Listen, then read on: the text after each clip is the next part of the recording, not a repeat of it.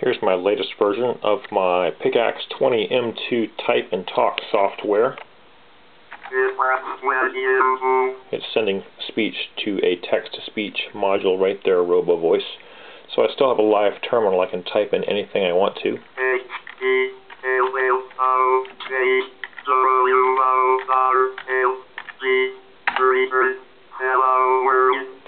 Hello World. Um, and what I've added is a talking calculator over here when I hit plus. Now it's in talking calculator mode. Let's add 789 plus 123.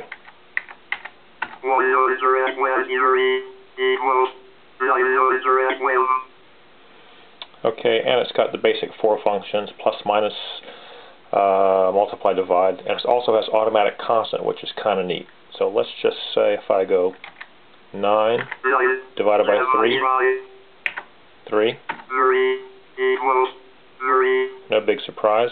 Enter again will be 3 divided by 3.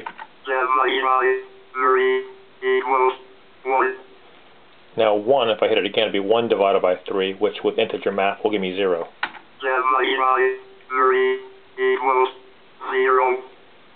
So that all still works. And I still have my kid's favorite feature is the whole alphabet built in.